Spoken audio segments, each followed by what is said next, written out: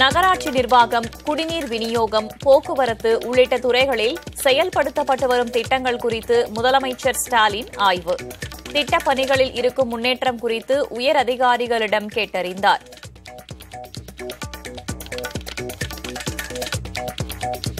நெல்லை குமரி தூத்துக்குடி மதுரை ராமநாதபுரம் திண்டுக்கல் உள்ளிட்ட பத்து மாவட்டங்களில் இன்று கனமழை பெய்ய வாய்ப்பு. சென்னை வானிலை ஆய்வு மையம் தகவல்.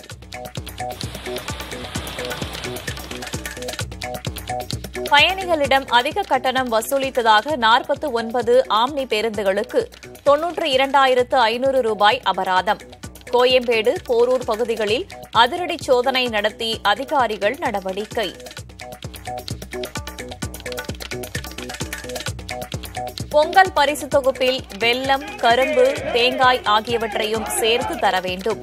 திருச்சி மதுரை நாகர்கோவில் உள்ளிட்ட இடங்களில் பாரதிய ஜனதா கட்சியினர் போராட்டம். இவரு தான் வீட்டு மாடியில காய்கறி பழங்களை வளர்க்கறாரு. மாசத்துக்கு நாற்பது ஐம்பதாயிரம் அதுல சம்பாதிக்கிறாரு. இவர்கிட்ட கத்துக்கணுமா? ஃப்ரீடம் ஆப்பை உடனே டவுன்லோட் பண்ணுங்க. சேலம் மாநகர பகுதிகளில் குடிநீர் விநியோகத்தை தனியாருக்கு வழங்க எதிர்ப்பு.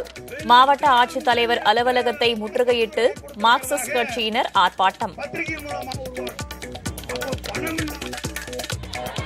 கடலூர் மாநகராட்சி குப்பை கிடங்கை வெள்ளப்பாக்கம் பகுதியில் அமைக்க கிராம மக்கள் எதிர்ப்பு. மாவட்ட ஆட்சியர் அலுவலகத்தை முற்றுகையிட்டு கிராம மக்கள் போராட்டம்.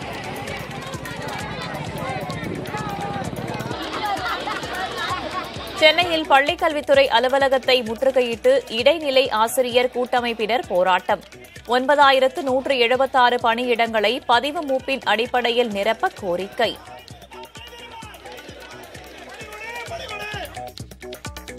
ஈரோடு அருகே தாளவாடியில் முட்டைக்கோஸ் கொள்முதல் விலை கிலோவுக்கு இரண்டு ரூபாயாக வீழ்ச்சி.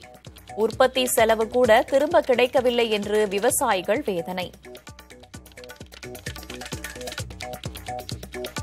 சுனாமி நினைவு நாளையொட்டி தரங்கம்பாடியில் தர்ப்பணம் கொடுத்து வழிபாடு. கடலூரில் பேரணியாக சென்றும் கடலில் பால் ஊற்றியும் அரசியல் கட்சியினர் அஞ்சலி.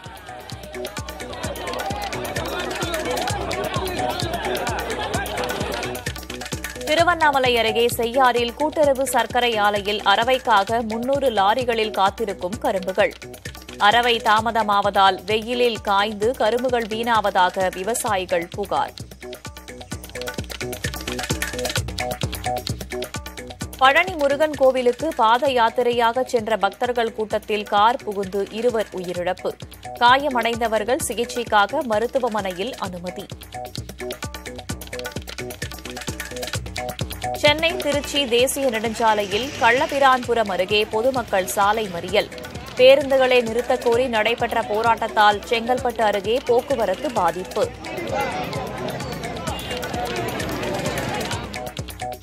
சபரிமலை ஐயப்பனுக்கு இன்று மாலை தங்க அங்கி அணிவிக்கப்பட்டு மகா தீபாராதனை.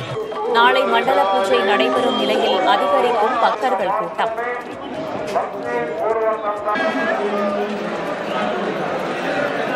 வங்கிக் கடன் மோசடி வழக்கில் வீடியோகான் நிறுவன தலைவர் வேணுகோபால் தூத் கைது. ஐசிஐசிஐ வங்கியின் முன்னாள் தலைமை அதிகாரி சந்தா கோச்சாரை தொடர்ந்து வீடியோகான் தலைவரையும் கைது செய்தது சிபிஐ. நேரு வாஜ்பாய் உள்ளிட்ட முன்னாள் பிரதமர்களின் நினைவிடங்களில் ராகுல் காந்தி அஞ்சலி. டெல்லியில் இந்திய ஒற்றுமை யாத்திரை நடைபெறும் நிலையில் மறைந்த தலைவர்களுக்கு மரியாதை.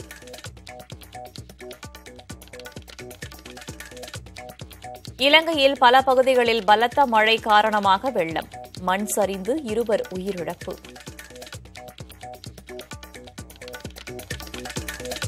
அமெரிக்காவின் பெரும்பாலான பகுதிகளில் பனிப்புயல் உயிரிழப்புகள் இருபத்தாறாக அதிகரிப்பு இயல்பு வாழ்க்கை ஸ்தம்பிப்பு.